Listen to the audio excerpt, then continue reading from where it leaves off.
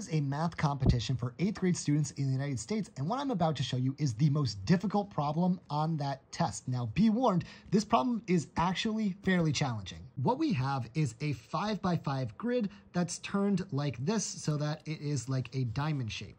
Now, starting at this bottom corner right here, what we are going to do is we are going to decide to go either up left or up right. So we can go up right this way. Then we can decide again, up left or up right. So let's go up left, up right, up left, up left, up right, up right, up left, up right, up left until we finally make it to this top corner right there. Now observe that to the right of the path that we traced out that looks like this, we have this shape. And if we fill in this shape region, we can actually calculate what the area of this shape is, assuming that each of these squares right here represents one unit of area. In this case, the path that we traced out, the shape that is to the right of that path has 11 units of area. Now, the problem is the following.